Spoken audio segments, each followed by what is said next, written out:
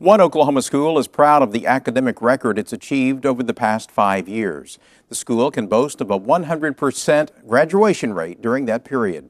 It's a statistic that is even more impressive when you consider the challenges students at this unique institution face. Students in this cafeteria are engaged in conversation, but with a difference. They're using American Sign Language. At the Oklahoma School for the Deaf, signing is just one of the things that set this campus in Sulphur apart from other public and private schools in Oklahoma.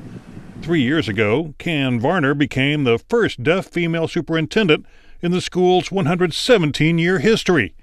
The mission of OSD is to provide the ultimate education and environment barrier free, provide the same education as students would receive at any other school. The key phrase is barrier free. The Federal Individuals with Disabilities Education Act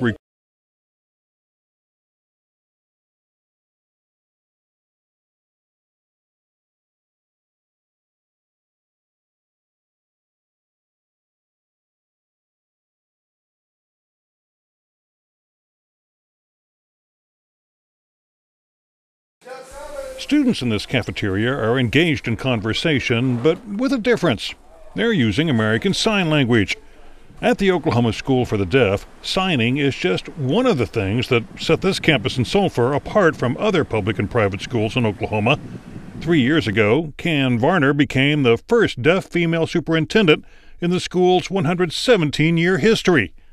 The mission of OSD is to provide the ultimate education and environment barrier free, provide the same education as students would receive at any other school.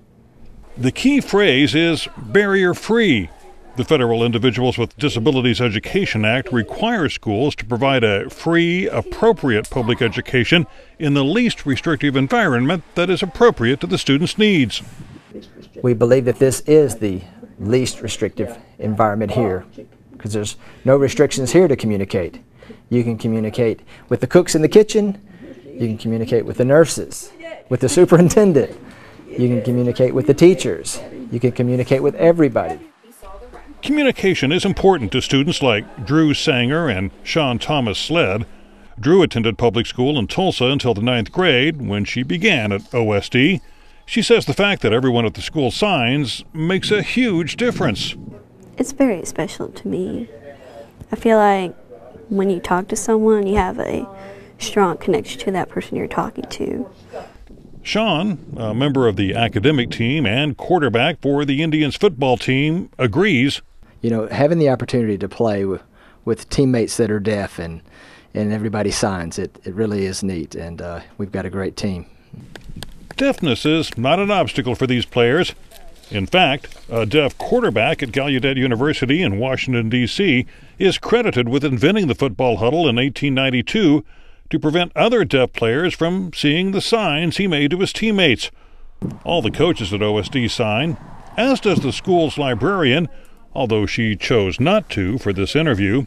Sue Galloway has been librarian at OSD for the past 23 years.